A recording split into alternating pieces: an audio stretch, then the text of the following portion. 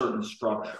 But I want to hit on two big topics today, and I don't know that we'll have time to, to go back to that topic. Um, one is forgetful and free And again, I want to connect this with a construct that is of great importance in software development and functional software development. Um, and if anyone's interested in going into more details, I put some links in the slides that you may find interesting. And I'm going to post these and you can go to these links. But it has to do with this notion of an adjunction. And I, I want to just, it's going to be a hand wavy treatment because adjunctions are really neat topic with, uh, with all sorts of um, rigorous insights that can come from them. But I'm just going to sort of wave my hands at them and, and give you a sense of where free and forgetful functors um, fit into that bigger picture. So Eugenia Cheng in, in this chapter introduces this notion of a forgetful functor. And these also go by the name of underlying uh, functor. Does anyone remember from the chapter, what is the flavor of a forgetful functor? What, what is it? Why do we call it forgetful? What does it do? Yeah, from more structure to less structure. And one example she gives is from monoid into set. Which of those has more structure? A monoid or, or a, a set of its underlying uh, elements, which is more structure? Monoid. Monoid encodes something besides just the elements the monoid. The monoid has elements. But what does it have beyond the elements? It has binary operations. It is a unit. It, it, it has these structural rules. What composes, and it has to be associative, etc. And observes this, this behavior. And it captures that structure, right? The rules of composition and the location, the identity, given structure. And all of that, when we map a given monoid into set, gets forgotten. So maybe we map a monoid with uh, which has uh, true false as its elements. So those are possible values of it. And maybe for monoidal unit, it has, well, we'll, we'll say first what the operation is. I'll put it in that order. Suppose the monoidal product this binary product that's associated with monoids is and. What would the monoidal unit be? What would the, the value of the unit be such that if we hit anything else with it, we get that same other thing back? True. And why true? Because if we hit true with and true, you'll get true, and false and true, we get what? False. So if we and any any other any element, is true or false, with true, we get the same thing, that other element back, right? If this were false, would that be the case? No. For example, if we did false and false, we'd get true false back. But if we did false and true, we wouldn't get true back. No, we, we get false, right? So that can't be the Bernoulli unit of false. It, it has to be true. Um, so if we had this, uh, a forgetful functor would map this to what? Mapping it into set. If the forgetful job of the forgetful functor, that's his job in life to map map monoids into set. It's a forgetful functor. What would it map this to, this monoid? Two element set. Two element set, true and false. Hmm? Um, there's all this monoidal structure that is for, forgotten. What's another monoid? Another monoid we discussed a lot. Natural numbers. Natural numbers. Beautiful monoid. Lovely monoid. So those are the elements of it. That set of natural numbers, 0, 1, 2, 3, 4, etc. And can you give me an operation? Putting these in different orders than are often, uh, so I'm doing the operation first to let you think then about what the what the unit is based on the operation, but what's the, what's the operation we might do for this? Plus, Plus, yeah, good. And what would the Monoidal unit be for plus? Zero. Right? We take plus of zero with any other element, we get that other element back, right? And what would a forgetful functor into set turn this into?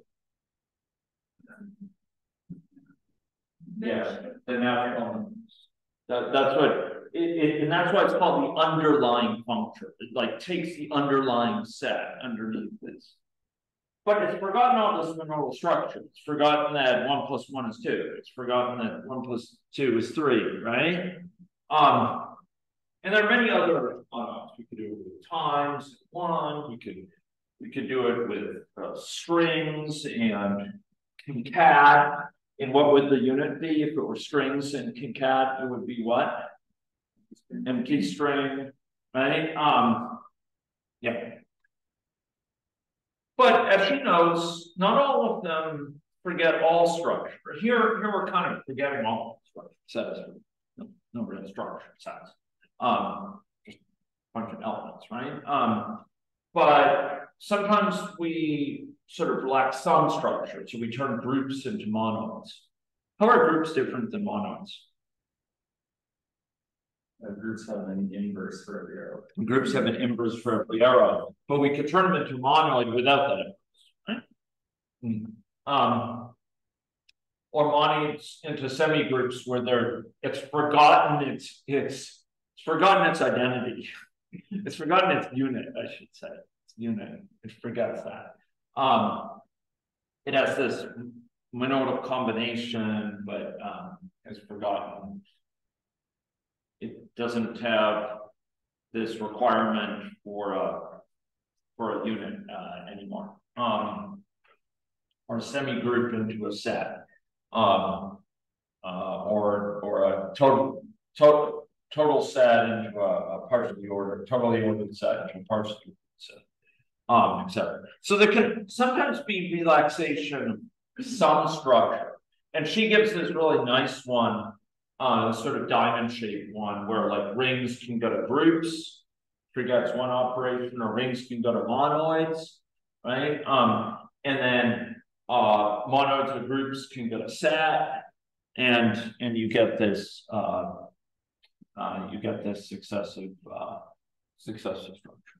Now, one thing that she doesn't really emphasize strongly, but as a um, as a, as a nod towards later later coverage, I, I want to plug plug this uh, get a plug on this for you, uh, and particularly for projects might think about. What I'm going to talk about is is is one of the coolest things in uh, applied category theory and and applications to software engineering among them is this fact that these forgetful functors um, often give rise to free functors.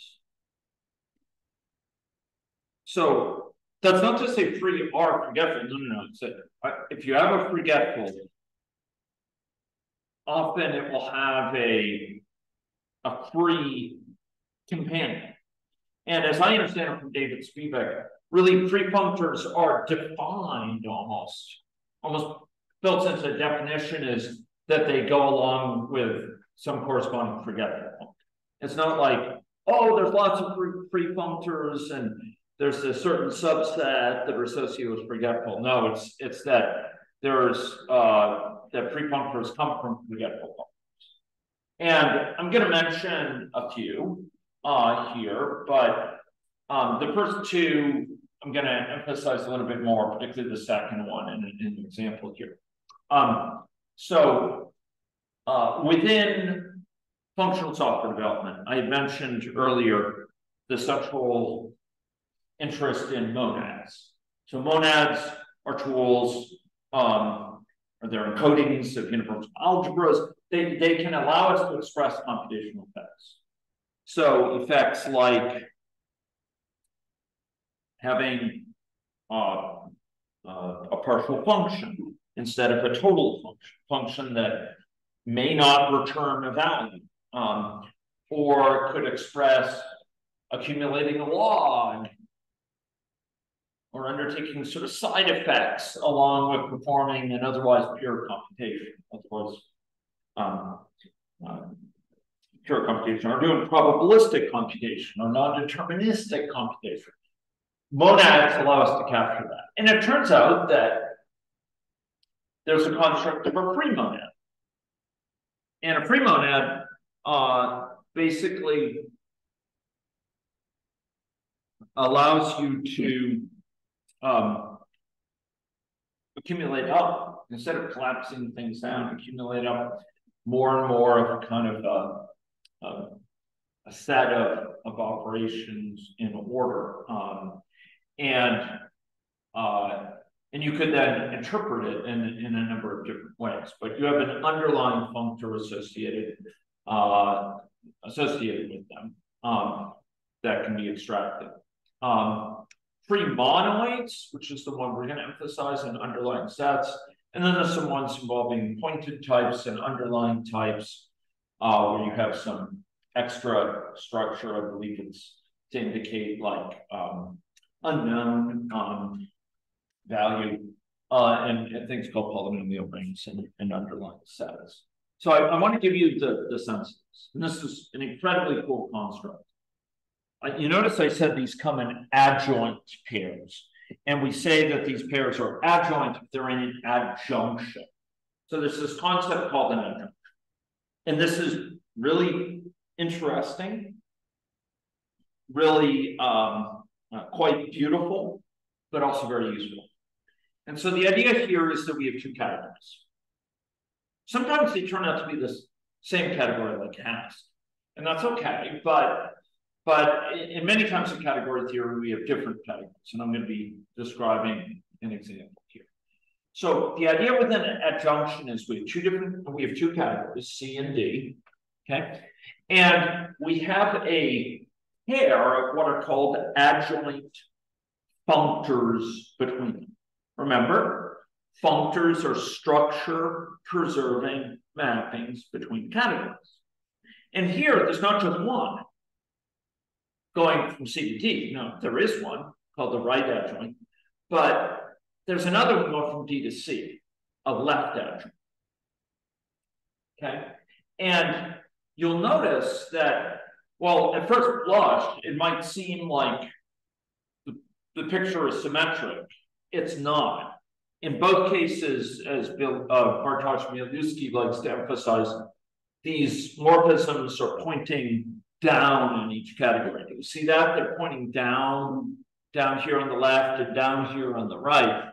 And these adjoint functors, um, you know, one of them, the, the right functor goes sort of in the um, uh, in the in the the opposite direction of those arrows, um, uh, and uh, coming in at the bottom, I should say, and the other one goes in the opposite direction, coming in out from the, the top of them, from their from their sources. So one goes destination of interest here and source. But but I, I want to that may seem arbitrary. I want to talk about why we're interested in these pairs here in just a moment. But it's asymmetric. And of great interest here is what's the left and what's the right. And John Baez has this beautiful description of adjoint functors where he he argues, you know, that uh, a right functor in an adjoint context is often restrictive and a left is like liberal and loose. Um, uh, but we distinguish the two so that we can keep track of which it is. And there's two ways to distinguish Number one, you can put an arrow, a big arrow, and that shows the direction of the left functor, the, the left adjoint functor. So functors left and right.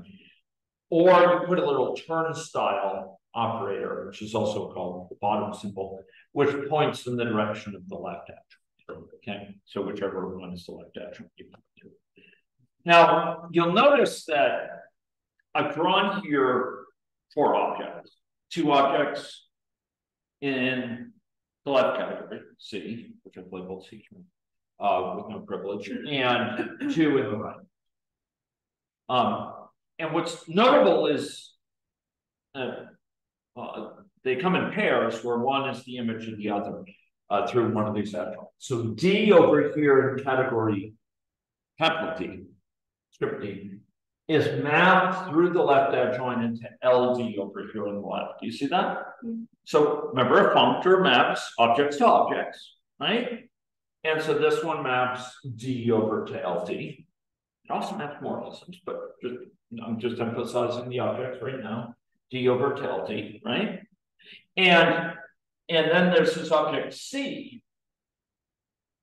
There could be many objects C over in category C, but for any of them, um, our, our focus will be for all possible objects C, just like it's all possible objects D in category D over all possible objects C. We have this other mapping from that object C over into the right category called RC, or R is a functor. So often our interests are any C over in category C, um, and any D over in category D, there's this kind of relationship where over in category C, we have LD, these links, these this hom-set from LD down to the C we chose. And over in category D, we have this, we chose a, a, some object D, and it has it has a hom-set down to the mapping of the C we chose over here, our C. Okay. And this may all seem like really bizarre, like what's going on? But the point is, what we're going to see is the fundamental um, structure conservation, the, the fact that structure on the left is mirrored on the right. Okay. We're going to see why this is for one case, but it's true in general that these structures, when you have an adjoint pair, these pairs that kind of go together, among them these free forgetful pairs, when they go together in this way, there's this mirroring of structure between them. It's like these two different worlds that are mirrors of each other, but not not exactly the same, but sort of um, corresponding. Okay, now the key property that relates that is for all C and C. Remember, I said we get to pick C and we get to pick D. Hmm? Pick a C. Pick a D for any D. The hom-set, the morphisms between LD and C. So L, you hit D with L and get it over here. You get LD and, and the, the, the hom-set between LD and C over here in the category C, right here on the left. That hom-set is isomorphic to, it's not only isomorphic, it's what's called naturally isomorphic, which is a concept we get to in our final, final, final meeting. Um, it's naturally isomorphic to the hom-set between whatever D we had picked and R applied to C, sort of the mapping of C over to there. So what this is saying is like you pick, pick any object in category C, any object in category D. There's this mirroring of structure that, that occurs between where L maps D and where R maps C. You have this same, same structure that, that these hom-sets on the left and the right are in one-to-one -one correspondence. And it's not merely one-to-one. -one. It turns out it's it's a stronger condition yet. It's naturally one to one. It has this extra preservation of structure, this extra well-behavedness in ways we'll, we'll discuss in a later time. Um, so do you understand that? This hom-set over here, and that's why I brought it in these colors. There's a black corresponds to black over, over on the right-hand side. The, the orange on the left corresponds to the orange. It's, it doesn't mean it's the same morphism, but it's the analog morphism. It's the corresponding morphism. Do you see that? It's the respective morphism in the other category. It may look different in its particulars, but it's the same basic, it corresponds to the other one. So C and D are like these corresponding categories, these not quite mirror worlds, but it's like um, but very, very um, uh, tied in and corresponding. So let's zoom out to free and forgetful functors and let's look at one of these examples. It's the second example on my list, free monoids and underlying sets. Are we ready to see it? Okay, okay, let's let's take a look at it. Here we go.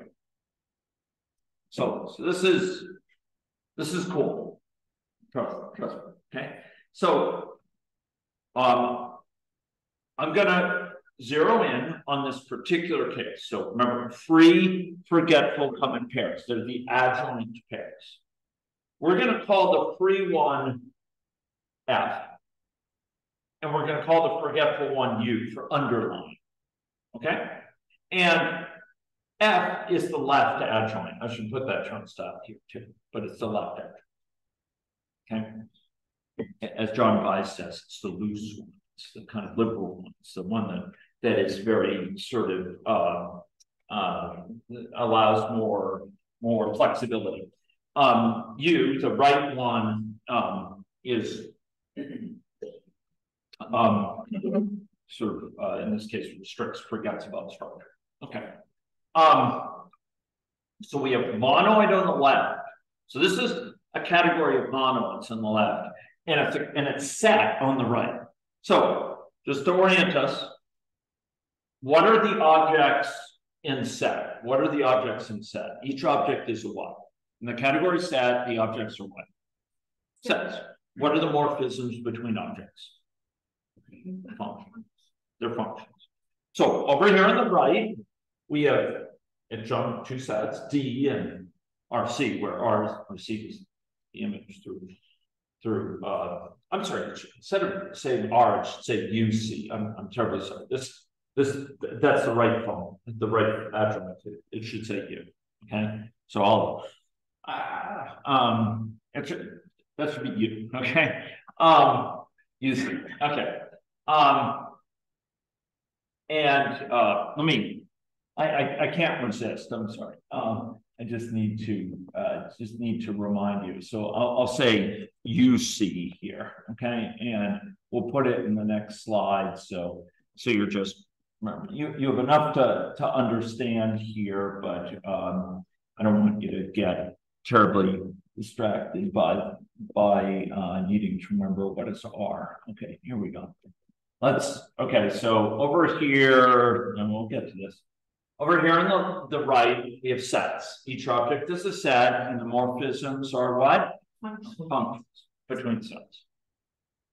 So we have two particular sets that are focused right now, D, and whatever U maps C to, right? Over here on the left, this is the category of what?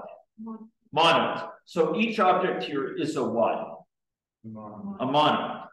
And the morphisms between monoids are what? What's the morphisms in a category of monoids? They are monoid homomorphisms. These way of mapping one monoid into another that like collapse down certain operations, but do so in a way that preserves what? Unit and honors the the uh the monoidal um monoidal yeah composition or, or product of, of things. Yeah. That it maybe maybe we're turning natural numbers with plus, and maybe we're mapping it, for example, in this and these and these ones down to a C, which is, you know, um, uh, something like uh, uh, the uh, uh, zero. I'll do zero and one. Uh, so mod two basically plus mod two and uh, and zero, right? So there we're mapping this plus down and it's consistent it's coarse grained, right? Like we no longer keep track of is it zero or is it two or is it four? Is it, all we keep track is that it's even, right? And we're adding things mod two, right? And but it's consistent. If we if we add things to the left and natural numbers and then map, we get the same thing as mapping first and then adding over on the right hand side. Are we comfortable with that? So these are monohomomorphisms on the left. Are we comfortable? And remember, there's many types of monoids, right? And what I'm going to tell you is that there's a one-to-one correspondence between these maps, between sets.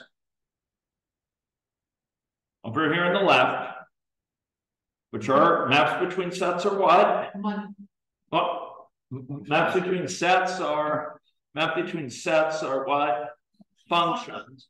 There's a one-to-one correspondence between those functions and these one. monoid homomorphisms. Now, that's a strong statement, because set has a lot of functions between them, right? Remember, set has no structure preserved, right?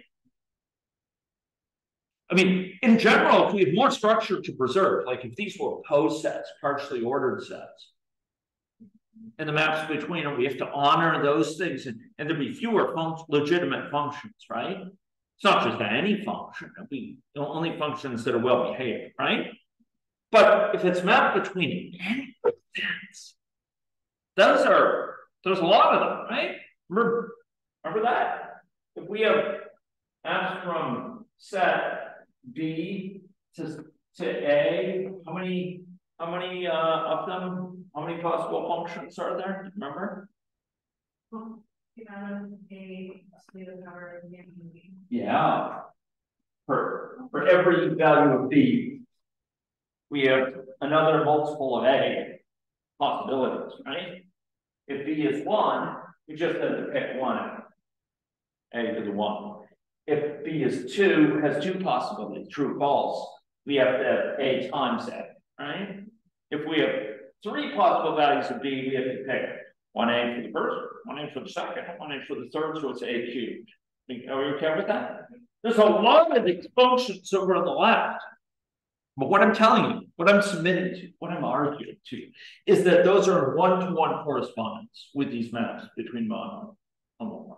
These, these homo. And that's a wild statement. It's wild because monoids, do they have structure? They have a heck of a lot of structure, right? They've this whole this whole structure associated with the monoidal operation, but somehow they're one-to-one correspondence. So somehow the monoids that correspond to these these these morphisms over on the right, these set morphisms, they have to be a special type of monoid.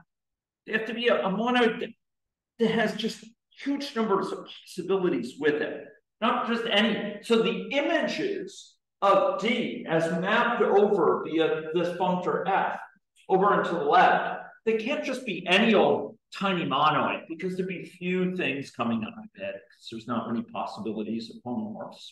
They have to be a very special type of a, a type of monoid that remember there's lots of things on the left not mapped to by F, right? Remember in general functors are not surjective. So there's lots of things over here on the left, the category on the left that are not mapped to by NBN, right? But the ones that are mapped to by F, I'm telling you, are particularly kind of flexible monoids, the, the monoids that have a lot of possibilities when mapping them to other monoids. And guess what monoids those are? They are the what monoids? The free monoids. Those ones have all this extra possibility. So let's go through. Should we? Should we go through it? Okay. Hearing no objections.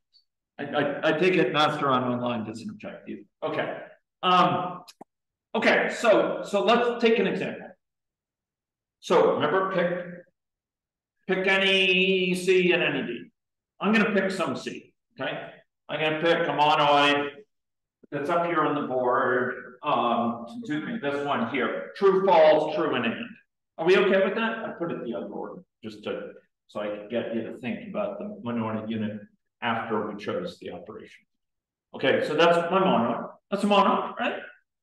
Um, that's not a monoid that's gonna be mapped to by F, but that's fine. It's any monoid, any monoid. Pick a monoid, n monoid, right? Right on the left, right? On the right, I'm gonna pick a D. We ready? I'm gonna pick the D one five nine. Okay, I'm just gonna pick one five. It could be any. Okay, one nine.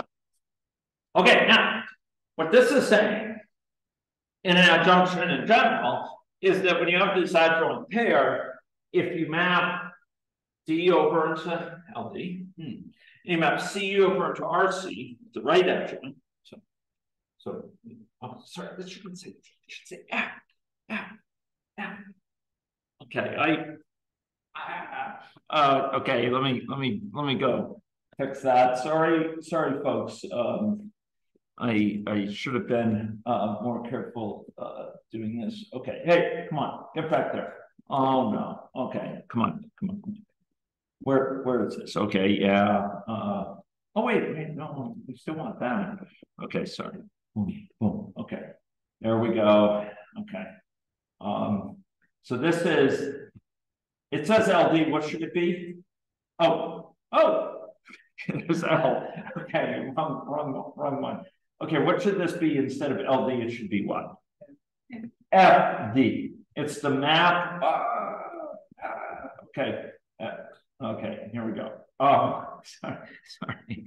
Um, at least it's entertaining, right? Um, so this should be FD, the map of F, the image of D, uh, over here in Vaughn, uh, as as mapped by F. Are we okay? And I'm going to take this, and I am going to put it here. Too. Are we okay? Yeah. Are we okay? Okay, here we go. Okay. Um, so so we have this general situation, right? And what I'm saying is that we're going to explicate it with these particular values for C, this monoid on the uh, on the booleans with and, and we're going to do it with a set 159.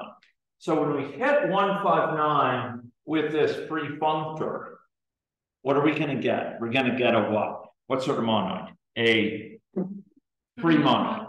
This is a free functor. It's a functor mapping from set to monoid. And it creates a free monoid. Hmm? That's why it's going to have such, such little, so many possibilities, so many things that could map up. And what what is the free monoid of 159 looks like? So does anyone remember? We talked about it many months ago, but or several months ago, but what what's a free what's a free monoid? Does anyone remember? Tell me some things that are characteristics of a free monoid. Any monoid has a set. It has a some set of elements. One five. And, and it has, okay, I'll, I'll get to this in a minute. So any monoid has a set of elements, right? Possible values. It has, what else does any monoid have? Binary operation. Binary operation in a unit. What, what's distinguishing about a free monoid? Free monoid, and remember, free, it means we're not, we're, we're being minimally constrained. We're not, uh, there's no, um, as much as possible as allowed by the rules of categories, allowed by the rules of monoids, things like associativity and unitality, combining with a unit always needs to, you'll, if you combine any element with a unit, you get that other element back, right? If you combine, um, if you combine A and then B and then C, it has to be the same as whether you go A and B and then C or uh, A and then B and then C, right? Um, within those rules, anytime you combine two elements, you'll get a new one. It's not all the time because you have to observe those rules, associativity. But you'll get a new one whenever, whenever possible. Every another way to think about it, if you think about uh, a monoid, you remember what a monoid looks like if I draw it out? A monoid in in uh, in a category, a mono. What is a, a monoid category looks like? What does it look like? How many objects does it have? One. One. Call it star. And where are the elements? They are what? So there's one hidden one, that's ID on star. And then there's all, all these others, right? Right? Hmm? So a free mono here is basically any path through this. Um, there's as many elements in the free monoid as, as in path through this thing. Okay, um, because every path will be distinct. And the nice thing about thinking about as paths is when we think about a path, we don't really think, well, if we do two first and then we do the third, is it the same as doing the first and then the next two? They're all the same. The, the, those. So we automatically, when we think about paths, we're sort of, we're thinking about in an associative fashion. So it turns out that that free monoids for a given set, with a given underlying set one five nine, um, are equivalent to, to be thought of as lists composed whose, whose elements be of the list, whose successive values in the list are drawn from the set 159. So, and, and where the monoidal operation is append of lists.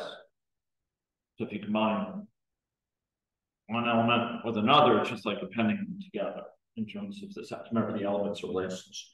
So maybe like one element is is the list one seven. Or, or here, we'll, we'll combine ourselves with this one five, right? One five nine. The elements are one five are drawn from one five nine. That's one element of this free mono. Give me another element of the free mono. And say they're all lists of whose elements are one five nine. Give me another one. Sorry. Empty list. Good. Good. Um, and if I append these two, what do I get back? One five. One five. If I, if I append them, I get back one five. Hmm? What does that suggest this plays the role of? Identity, yeah, unit, unit in the model. Is that true the other way too? You combine on the left? Yes. Okay, so give me another element of this mono. We, we have, let's say, one five, give me another one. No. Sorry? No, no, good. And if I take the monoidal operation here for these, what would I get? One five nine.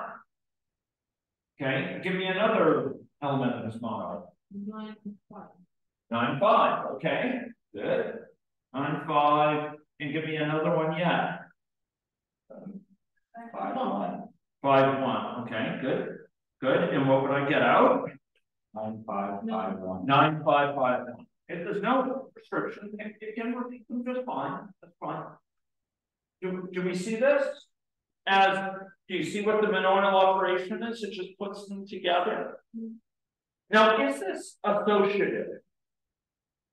If you combine one list A and another list B and another list C, does it matter whether you stick A and B together first and then C at the end of it? Or A first and then D, at- then B, you know, stuck together to C next? Does it matter?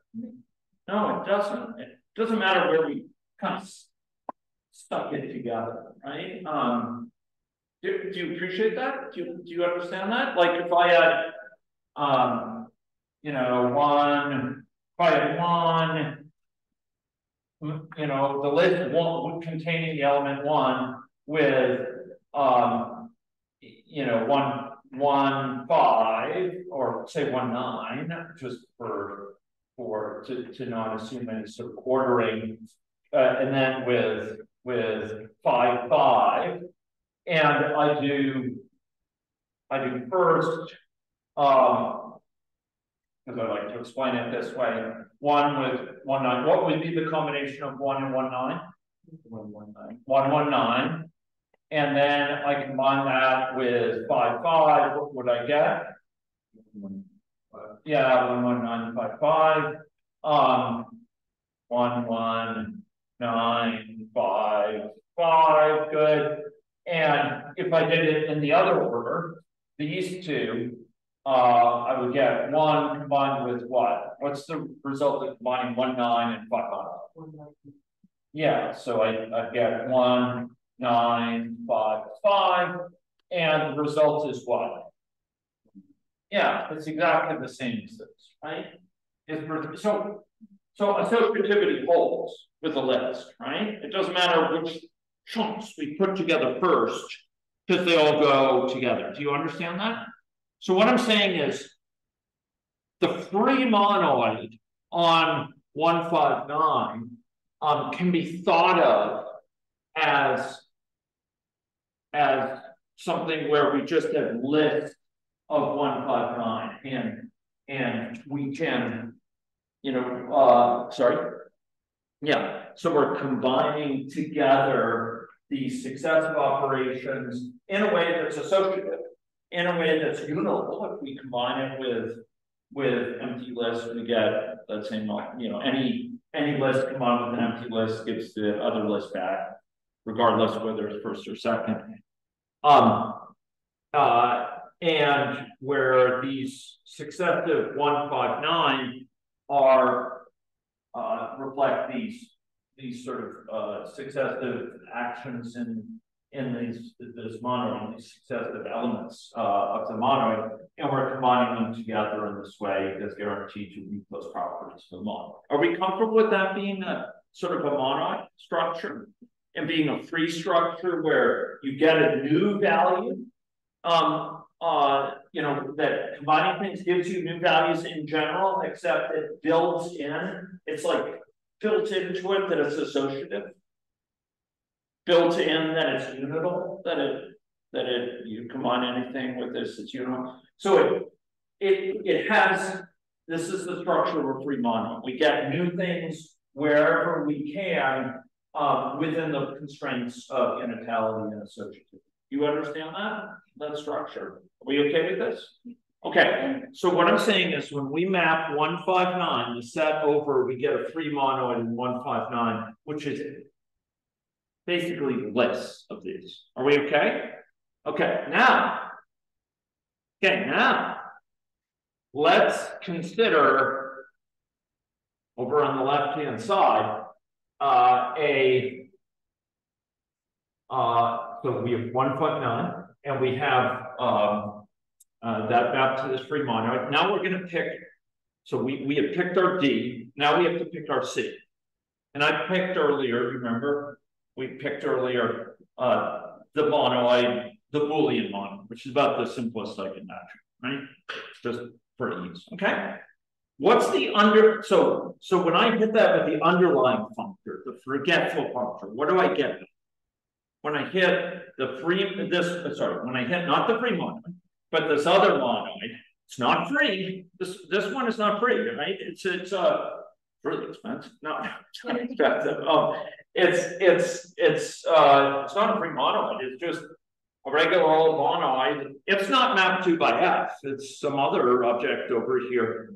But when I get its underlying set by this by this right adjoint, this one down here, the underlying functor, the the forgetful functor, what do I get out of it? Uh well, when I map it over to set, what do I get out? I get out a set, right? What is the set I get out? True false. True false. It's the underlying set of the mono, the set of all elements of that monoid, right? Are we okay with that? Set of all elements of the mono over here. True false. Are we okay? So that's what RC is. Remember, for any C that I pick, I pick one monoid here. Very simple. For any D that I pick, I'll pick 159 for that D, I got this F, this FD, right? This because it needs this degrees of freedom to, to, to have lots of these things to map up. And over here, I have a map from 159 down to true false. Hmm? Hmm? How many different values, how many different functions are there from 159 down to true false? Eight. Eight indeed. For one, we have to pick either true false. For two, we have to pick true false. For three, we have to pick up true false, right? Now, one of them we might say is odd. What do you think that's going to return for one? True. True. For five? For nine? True. Okay, good. How about is even? False, false, false, right? How about is prime? So, so suppose we say one prime, we'll consider it prime. Okay, what, what, what do we, what would we get? True, true, false. True, true, false. Okay, yeah. Okay, good. Okay, so we, we have these mappings from one five nine down to true, false, right? And what I'm saying, and what the adjunction is saying, is there's a one-to-one correspondence. Hmm? Hmm? Between these morphisms over here from one five nine to true, false, and these ones over here from the free monoid down to this monoid. And I'm just going to show you what the correspondence is. And I'm going to pick one of these, the is odd one, to illustrate this. Okay. So here's the deal. Okay, first of all, let's let's remember what over on the right we have these objects are what? Their stats, and what are the morphisms? Function. Good. Is odd, is even, is prime, right? They're determined for each value of the source set, 159 with the with the values. Over on the left, what are the objects? Monoids. And what are the morphisms? Mono homomorphisms. These kind of coarse grainings of these of these mappings union monoids that honor the structure but can coarse grain, right? Remember, like we said earlier, if you go from natural numbers to to um to a to a monument, you're just coming in mod two, right? Coarse grains it, but it honors the structure. It doesn't contradict the original structure. Are we okay with that? These are mono. Okay, let's ask. Okay, well, if we have is odd on the left, what's the monoid homomorphism associated with this? Now, this is cool. You want to see this? Do you want to see the coolness? Okay, okay, good. I'm glad no one objects. Okay, so what I'm going to call it fold with is odd. Okay. So it's going to be kind of, and I'm going to use this term kind of loosely. It's going to be a lifting. It's, it's going to be sort of is odd adapted for the modern world. Okay. And, and I, I want to want to be specific. I'm speaking loosely there, but basically we're going to adapt it. And what it's going to do. Remember, its job in life is to map from what's this thing up here? What's what's this object up here? It's a, it's a monoid. What sort of monoid? It's mapped to by F. So it's a free monoid, this free monoid 159 with append in, in unit, right? Uh, for an empty string, empty uh, list this unit. And this this fold with this is homomorphism mapping from that to this to this um, uh, Boolean uh, monoid with and, right? Okay, so how is it going to do this? Well, okay, this monoid homomorphism is going to do the following, okay? Um, remember, the source has elements 159, a list of 159. Remember that? Just right up there? Okay.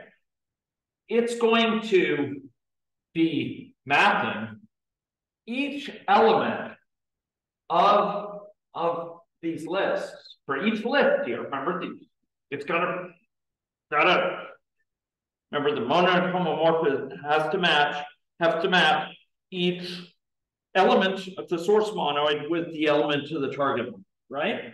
Are we okay with that? So it's to map each of these to the target monoid in a way that honors the rules of position right? Now honors the monoid uh, monodic product in the unit. Okay, so I'm going to say for a given list, well, uh, we're going to map, uh, suppose it has elements. We're going to map uh, each of the, for that, for that list, it's going to be composed of one, fives, and nines, right? This is the elements of the list. And for each of those digits, I'm going to map it to a particular element of the target model, true or false. And what rule am I going to use to turn each digit into true or false? What, what rule could I possibly use? Is odd. So this is going to be, this gray one it's going to be the one corresponding to is odd over here. It's the it, it's the one that, that corresponds in this isomorphism, this natural isomorphism down at the bottom. It's the one that corresponds to that. This fold with this odd. So its job in life is going to take each digit. And it, so a given element, it has to have a given element of the free monoid, which looks like a list of 159s, right? And how does it do it? It takes whichever 159, whatever of those digits it gets to for each position, and it maps it using is odd to either true or false. Okay. So, so, and then what's it going to do? It's not done yet. It's going to AND them together to get an element of this monoid, which is, and what are the elements of this monoid down here? True or false. So it's going to map each, each of these one, you know, one, it's going to map with is odd to what? True. With one, it's going to map it to true. With nine, it's going to map it to for five, it maps it to. But all along the way, it's performing the monoidal product on which monoidal product? This one down here for the target monoid. And so at it's true and with true, and with true, and with true, and with true, and maps it to what this? They're true. Because its job in life is to map it to a particular morphism here in a way that honors composition or you know monoidal product um and, and unit. So so it turns out, if you think it through, that does honor the, the monoidal product up here. The monoidal product up here in the free monoid is what? Append. Uh-huh. And, and you can either have two elements or two lists up here and append them and then map, or you can, or you can map and then take the monoidal product down here and you get the same thing. Hmm? So it doesn't, so it honors it. But we still have to show how does how do you think it handles unit? Let's suppose that map with this odd is dealing with an empty list from up here in the free monoid. Where do you think it maps it to? The unit in the target monoid, which is what? True. So its job in life is to go through and and translate piecewise each element of the monoid, all its pieces, and accumulate, folding them up, sort of applying the monoidal operation and the target monoid to throw them up. Um, uh, and that will honor the composition and the source, the append. You, you again, you can you know, take two things and append them and then map, or take take two things, map, and then append, and then you know, and through them down, uh, you know, uh, and then and them down there with the monoidal product in the in the the target, it yields the same thing. Hmm? And so that is the morphism that is in one-to-one -one correspondence with is odd. And what I'm telling you is there's a corresponding morphism for is even. Can you believe that? Just the same mutatis mutandis, right? The same idea. This go one goes to what with this even? Oh, one goes to what? Oh, oh, then abandoning them up, right? How about for is cron? What does one go to? True, true, nine, false, true, true, true. And the entirety is what? False, because we're amming them up. And there was even one statement on that didn't agree. So it goes to to to to false. Yeah. Um, so, so what I'm saying is each of these functions from one five down to true false has a corresponding one over here that operates in the free monoid. Do you see that? And so it might seem outlandish, this idea that, wait a minute, monoids are very restrictive things. They don't have willy-nilly homomorphisms. They're, they're, you know, they have a lot of structure to preserve. They can't afford to just say, well, whatever. Um, like sets do. Sets, you know, function sets. Tons of them, right? But here, because we're dealing with the free monoid, it's a very voluminous monoid. It has all these lists, right? All these lists, which have all these possibilities, and that affords us this chance to have lots of these mappings. And if you went and you considered all the possible mappings, over here on the right, there'd be how many? From 159 to true false, eight, and over here on the left of the eight. Just apply it directly. Hmm? So, so this is an example of how free monoids and how free structures um, here with the left adjoint um, go along with forgetful functors for the right adjoint in a way that guarantees this isomorphism. What I haven't talked about is the naturality, because that will wait for natural transformation um, to, to be able to properly deal with that. If anyone's interested in seeing more of this example, uh, I was actually um, inspired in the general idea from David Spivak's talk at Lambda conference, um, where he has really condensed sort of coverage of a lot of categorical concepts, and this is this is one of them. Um, and I just elaborated on some but um, free functors give these sort of free structures that are particularly flexible and and have um, less restriction associated with them. Whenever you can have a new element, you will, um, within the bounds of unitality and, and associativity. Whereas this other one underlying extracts things with less structure. Are we okay with that? Okay.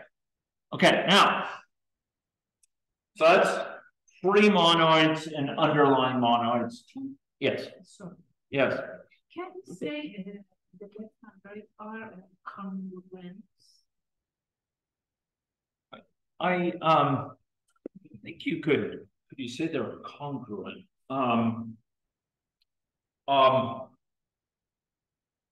um, I'd have to I'd have to know the um they're certainly isomorphic. That that, that sorry sorry do you mean like the categories are congruent or like these these hom sets because like the hom sets are isomorphic and they're not only isomorphic they're naturally I thought geometric had a congruence between. Oh. Um, hmm, um, hmm, oh, okay, um, we had a congruence at the left side, for Mm. example, on the right side. I wanted to know these are same to that uh, at the geometric one. Uh, um, maybe at some level, but I'm not familiar with the direct mapping. Um, that's an interesting question. Uh, it may be that that could be formalized into this, so it may be that indeed that's another example of this, but I can't say off the top of my head because I don't, I don't know the results there. We could ask someone who's a category theorist and they may be able to, to identify that. Um, but the structure comes up a huge amount and in computer programming, these adjoints are really, uh, they, they end up popping up quite a bit. And in fact, you can find cases of these adjoints in many um, practical examples. And it could in principle maintain them um, in, in software. One of the things that's uh, in one way, one place that you see them a lot is with what are called Galois connections, um, uh, where you have uh, uh, posets on both sides, partially ordered sets. Um, I will further note that um, we it's out of adjoints that a lot of relationships uh, of relevance in computer science come up. So factors having to do with currying and uncurrying um, end up being having sort of reflections and, and um, uh, adjoint pairs, not free under or un, and underlying, but in a different context. And it turns out that monads come out of that function. So, uh, monads um, are going to relate to uh, cases where we have um, uh, mappings uh, that that end up uh, occurring within a given category, um, from say uh, uh, C to, and again, it's, it's, more commonly done with this, from C to like uh, R, R after L uh, times C. So if you map it around and then you, you end up mapping it back, um, where does it go to? And it turns out you get monads and you get comonads out of that. And comonads are, are really interesting structures as well. So adjoints are, are some of the coolest things in adjunctions, or, or some of the cool, coolest things that um, you encounter, and they are directly related to some computational constructs that are of, of significance. Okay, okay. So, so that's what I wanted to cover on free and forget. Now, um, we have an impossible task upon us because I had wanted to cover other topic of great significance, which is contravariant functors. Um, and this this also is of huge import. It comes up all the time in theoretic work. Uh, and it comes up uh, quite a lot in uh, uh the the context of many other um, other constructs like profunctors um, uh, or capricius, etc. Um, this is uh, also something which comes up in programming a lot. And I had prepared a bunch of slides, and I do have to just show those, but uh, in a triage, I'm going to have to wait to show them to you because it's really substantive stuff and it's very practical in its implication. But the idea here is that we've been talking about functors, which are what are called covariant functors. Okay.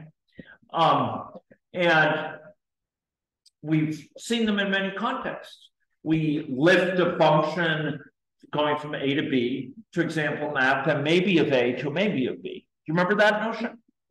So what is if we lift a function from A to B to operate from a maybe of turn a maybe of A into a maybe of B, what do you think it does um, on the maybe of A? Does the function if it's there and does nothing if it's exactly if if the if the maybe is holding a value of type A, it applies the function to it and it gets a value of type B, right? You have this function given to us to go to A to B. If the maybe does not hold the value, hmm, if it's if it if it's nothing, guess what we get back? Nothing. Yeah. Um, and and so we we can map a maybe of A over to B. And the only question is, do we have the A not? Right? Right? Um, remember list functor?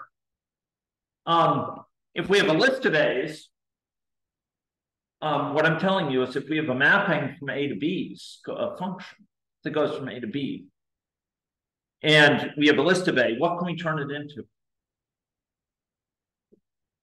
A list of B's. How do we do it? How do we turn this? If we have a function that goes from an A to a B, and we have this list of A's, how do we turn that into a list of B's? apply X to every element, right? We we we have these elements in the list of A, one after the other, right?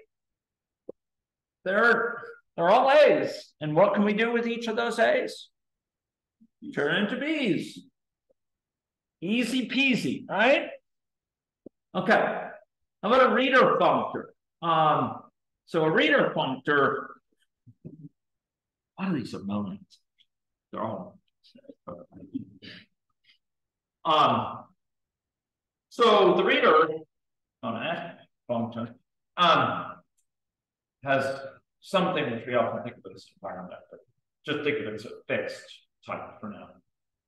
And given that it's a it's a mapping, it's a function from that fixed type to A. You give it an instance that fixed type, it'll give you an A. What I'm saying is, I have a function from A to B, and I have one of these things that if I give it an E, a type E, I get an A. How can I turn that into something? If I give it an E, I get a B. What could I do? It's Kind of a jigsaw puzzle. If if I have something that that can turn an A into a B, that's given. And I have a mapping from, I have a way of turning E's into A's, what can I do? Well, function, I get a B, right? It's, it's, um, just like this, right? Um, so I, I have one of these things that can turn an A into a B, and if you give me something that turns an E into an A, if that's what you give me, I can give you back something that turns an E into a B by just taking the thing you gave me, um, I'll, I'll- and, and I'll give you back the thing that takes an E to a B by using that thing that turns an E to an A. Give me an E, I'll, I'll give that to the thing that you gave me that turns an E to an A. And then I'll apply this mapping from A to B, and I'll get back a B and give it to you. And that will be my recipe for getting to an E to a B. Are we okay with that? Okay, okay. So the idea is we're um uh so we're going to be able to use this thing. The person's gonna give me gives an, an E to an A. I'm gonna I'm gonna have an A. And I'll be able to hit it with this F from A to B and get back a B. Do you get that? I'm gonna have an A in hand. Okay, so that's that's pretty cool. Um, so I want something that goes from an E to a B, and I got this thing that can turn E's into A's. So I'm gonna take my E, I'm gonna plug it into that machine that will get me an A, and then I'll apply F to it and I'll get a B. We okay? Okay, hearing no objection. Okay, now contravariant functors are gonna turn this around. The motivating example I'm gonna leave you with, and we're gonna pick up next time, because this is so important. There's so much good intuition to build up, but it's it's confusing the first time you see it is. okay, Yes, it would be the opposite direction, but we have to understand this. So we, we were just talking about something, I'm gonna use different letters. But if I have something that, that, uh, can map from an S to a T, and you give me something that maps from an E to an S. Hmm? I can give you back something that maps from an E to a T. And I'm, I'm trying to show this to show the power of diagrammatic notation right? All I have to do is a jigsaw puzzle, right? I take this thing you give me from an E to an S. That's one of the things I'm given. I take the other thing I'm giving, which is something goes from an S to a T, I stick it on at the end, right? It's like fitting the jigsaw pieces, as Eugenia Cheng says, and I got something going from T. Do you see that? Okay. Now for contravariant functors, I want to ask you this. So we just we just said that, but now suppose it's a it's a it's a twist, okay? Uh, instead of going having things to go from E to S or E to T, um, suppose you something goes from F to E, not not E to S, but S to E. That's suppose that's a um and and we want to get something that goes from T to E instead, okay? It sounds like going from a, a list of S to a list of T or maybe of S to maybe a T. Right? That's what it sounds like at first blush. A reader of S to reader of T, but it's it's different. And here's the thing: suppose I I have a function that gives it S to a T, just like I did before, right? S to a T, and I have this thing given to me that's an S to an E. Before I had E to F before, right? That's why I was able to put these together as jigsaw puzzles, right? E to S, S to T, put them right after each other. Suppose now, instead of having an E to S, I have an S to E. So I'm given an S to a T, right? I've given an S to an E. Can I stick them together? Can I can I stick them together to get an to a T to an E? That's what I want, right? Just like I turned a list of S into a list of T or a maybe of S to a maybe of T, or a reader of S to a reader of T. Um. Can I do that here? No. No, I can't, right? The, the jigsaw pieces don't fit, right? I, I wanna, I wanna like stick the S to the T in, in front of this, but does it fit? No, cause. Cause like. I, I, I don't have something that gives an S, right? Um, I have something that, I have that wants an S, but I don't have something that gives an S, so I can't stick it to the front. Cause it produces a T. Can I stick it at the end? T, yeah, Can I stick it at the end here? T. No. E. Oh. Okay. Okay, okay, you're, you're getting warm, so we can't, we want something that's T to E. But we wanna get it, we, the idea is we wanna, just like we mapped a list of S to a list of T by mapping this sort of function over it. Just like we had a, a, a maybe of S mapped to a maybe of T by mapping a function from S to T. We wanna do that here, but we can't. But what Nona's getting at is what we can do. So with a normal covariant functor, we can we can't do it. We can't actually map it, but with a contravariant functor, we can. Okay.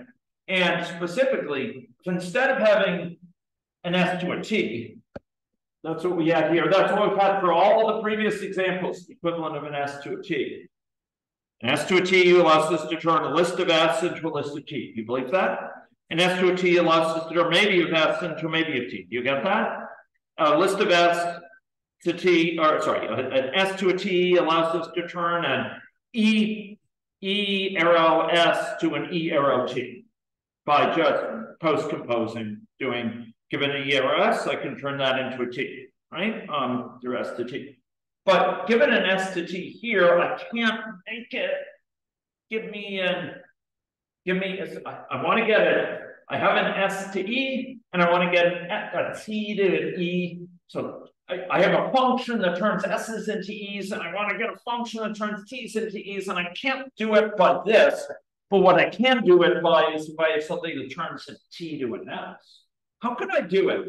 How can I, if, if I have this thing, a, a function that gives an S, that I, I get an S and I turn it into an E, how can I get a function that needs, uh, that if I'm given a T can turn it into an E, if I'm given, if I'm given a T to an S? Can anyone say, how would I, if I could turn a T to an S, how can I turn an, a function that takes an S and gives an E into a function that takes a T and gives an E? What can I do? Yeah, just compose it, right? What do I do? I stick the thing that gives a T to S, where do I stick it? At the beginning, right? So now I have something, I just recompose it, right? I, I, I take this thing T to F, okay? Um, I can give you an S, I'll stick it here. I now I can now I consume a T, that's what I want up here. Um, and I produce an E, that's what I want, right? So what I'm trying to say is, in order to lift a list of S to a list of T, you need something that goes from S to T. In order to lift uh, maybe of S to a maybe of T, you need something that goes from S to T. In order to turn an, uh, a function that goes from E to an S to an E to the T, you need something that goes from S to T. Because you have, for all of those, you're going to have a an S. It's going to be in the list, or it's going to be in maybe, or it's going to be given to you by this function that takes an E and gives you an S. So you can map it here. You don't have an S, you need an S. It's like you have a negative S, you want an S. You, you, you need an S given to you. So you don't have it to map with something that goes from S to T. It's not like you have one of these, you can turn it into a T. No, no, you want it. It's like a hole of a shape S. Like I have this hole, it's waiting to get an S, and I can't map that S to a T because I don't have an S. Instead, I need something that will map a T into an S. It, it has a hole type T. It's going to take in a, a T, and then having having gotten a T, I know how to turn a T into an S. and I can plug it into this hole and get that out. Hmm? And, and that's the different model. And, and, and programming, you have to operate with this, you, you can't, you can't just be operating with things that are covariant going from S to T. We can with lists, with maybes and, and, and with, uh, the things like the reader functor, but we can't with these guys, okay? So next time we'll, we'll walk through this through a bunch of examples. And we'll see some Haskell code, but we'll also see some real sort of daily life examples that illustrate this, where we automatically know this in daily life. Like it's, it's kind of obvious to us. We just don't think about it. It's so clear to us. But in programming, we have to be conscious of that. Sometimes we need a covariant functor and sometimes we need a contributor. Okay, um, because sometimes we're dealing with collections that have things, and sometimes we're dealing with things that need to get things. Like need to get an S, you know, and then we want something that needs to get a T. And those are different circumstances. Sort of either have positive things or we have negative things. We have, we have, you know, things of, we have the donuts that we have the holes donuts, right? Um, anyway, that's, that's what we'll see, okay? We go with this? Okay, so take a look at that next chapter, but we're gonna talk about contravariant functors. And uh, I think we'll, we may also touch on one other thing from. From the chapter in terms of the shapes and um into and out of uh shapes, which is is pretty cool. Um. Okay. Terrific.